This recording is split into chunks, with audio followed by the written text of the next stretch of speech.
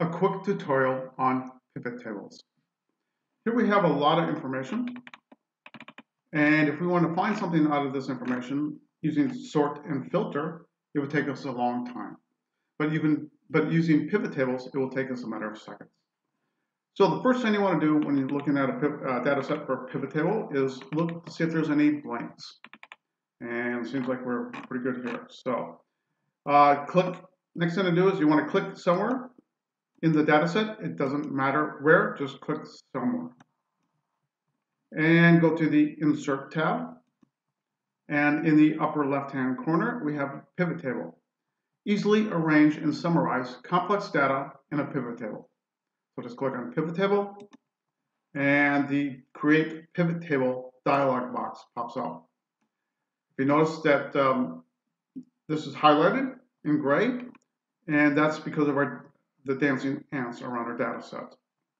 We can also choose where we want to place the pivot table. We can put it on a new worksheet or an existing worksheet. If you do an existing worksheet, just click on the, the existing worksheet and click in location and just place anywhere where you want the pivot table to appear, for example. And if you watch right here, when I click, it will populate. But for this example, I want to do a new worksheet.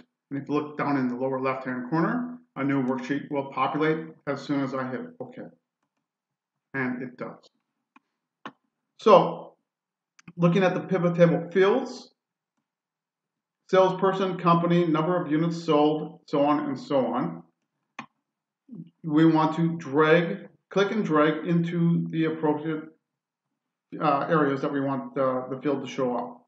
For example, just looking at the, the fields, I'll look at amount of sale and looking down here, I probably want amount of sale into values because we're talking about dollar value. So click on amount of sales and drag into values. And we get a number over here. Let's look around here a little bit further. Let's go regions and let's put that into columns. Well, maybe, maybe not. I don't know if I like that or not. Let's let's play around with it again. You can drag regions into rows, or you just put it over here, and it goes away. So let's put regions into rows. Okay, I can kind of I can work with that.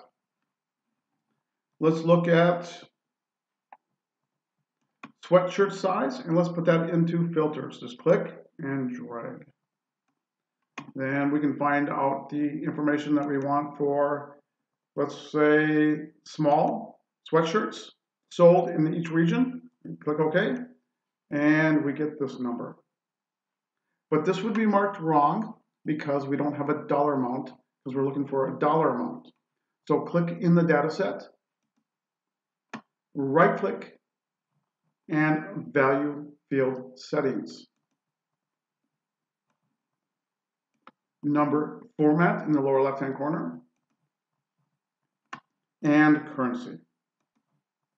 And let's say we don't want any decimal points. And OK. And OK. And now we have dollar signs for this information. So let's, at this point, we can um, insert a graph. Just kind of click everything here, highlight everything, go to Insert, let's pick this right here. And we sold a lot of small sweatshirt size in the West and not too many in the other regions. So just a quick and easy tutorial on pivot tables.